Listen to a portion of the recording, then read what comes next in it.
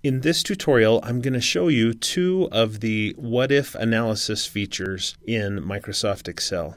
First, we'll look at Scenario Manager, and then we'll look at Goal Seek.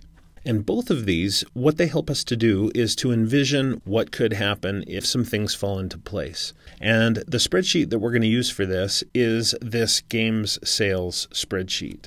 And it's a spreadsheet for a hypothetical board and card game store. And you can see there's some board games and card games here at the left with their price here and the 12 months of the year. Now you can see over here to the right, we have the yearly total sales for each of these board games, and these are dollars. So if you look at the formula for these, if I double click on that cell, it says that it's the sum of these numbers multiplied by the cost of the item. Okay? And then we have a grand total amount of money earned this year by selling these games. But let's say I want to dream a little bit and look forward to next year and I want to ask myself, what could I do to get this number here of grand total amount of money taken in by this small business? What if I want to get that to a hundred thousand or a million or even more? Well, I can use the what if analysis features that are found here on the data tab, the data ribbon over here on the right where it says forecast. So I'm going to click where it says what if analysis and it pops up with three options Scenario Manager, Goal Seek, and Data Table. We're going to look at the first two in this tutorial. So I'll click on Scenario Manager, and it pops open with a kind of wizard here. This will help me to make my scenarios and to compare them. And I get to create those scenarios. Now, this can be a little tricky the first time you do it, so hopefully this video will help with that. What you'll do is you'll click here to add a new scenario. And maybe I want to first start with just acknowledging where we stand right now. So I'll type in something like current year. That's the name of this scenario. And then next, it wants me to establish what is it that we're going to be looking at in these scenarios? What might hypothetically change? And so let's say with this small business, I want to make a push for Christmas time. I want to try to sell more than I ever have at Christmas time of these games. Well, here where it says changing cells, I can just click this button here and then click and drag to select the December numbers for each of the games. And then I can tap enter on the keyboard and it puts in that range.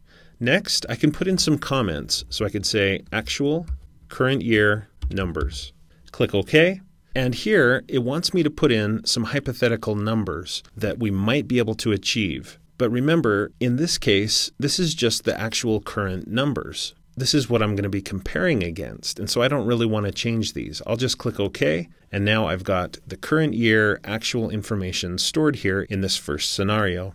Now I'm going to add a second scenario. And this is going to be the optimistic scenario.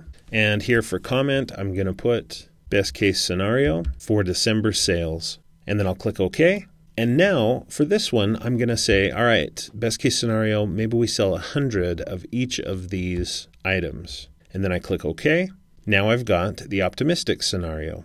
Finally, I'm going to add the pessimistic scenario. It's the same cells, N3 through N10, and this is the worst case scenario. I click OK, and let's say the worst case scenario is three sales each. I click OK, and so now at this point, I have three scenarios. Of course, I could add more, but now all I have to do is click on one of these scenarios and click Show, and look, the numbers all update.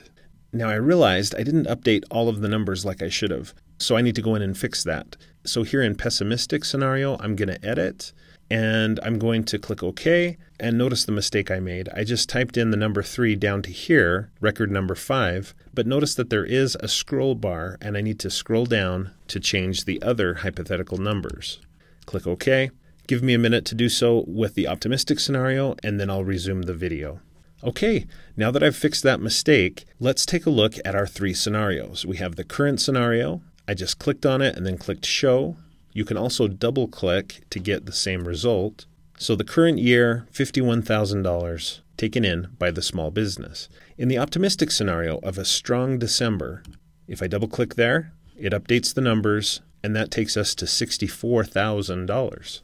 What about the pessimistic scenario? I double click there and we could drop down to $46,000. Now, hopefully, you can see the reason why I like to have a scenario that reflects the actual data, the real data. It's because that way I can easily compare and contrast. I can go back and forth between the different options.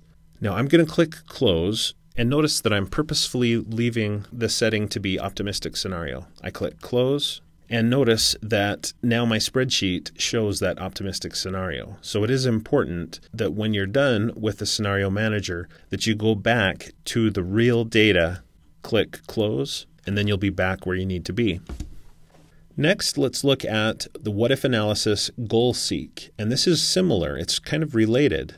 Let's say I want to set a goal of not 51,000 in sales, but rather 200,000. So I'm going to click here on cell O11. That's the place for the goal. And then what is the goal? Let's say 200,000. So I type in 200,000. And how am I going to get to that goal? What number is going to change that's going to get us to this point?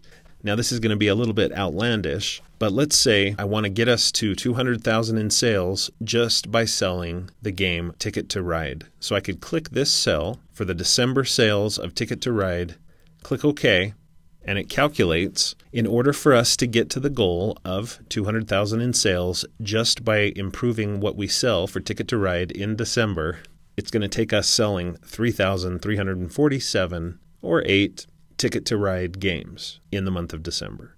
So, like I said, that's a little bit outlandish of an example, but hopefully you see the purpose here.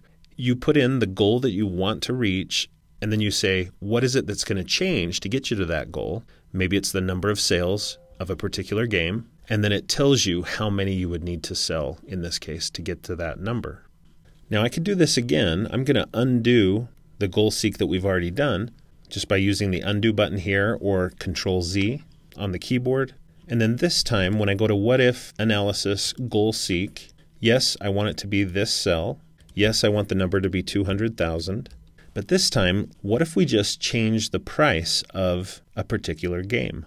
Like Skip Bo. Skip Bo is a pretty inexpensive card game, but what if we raised the price a little bit and the sales stayed the same? Kind of doubtful, but let's try it. If I click OK, it gets us to 200,000. How? By us charging $677.13 for each pack of Skip Bo cards. It's kind of fun to run some of these scenarios and these goals.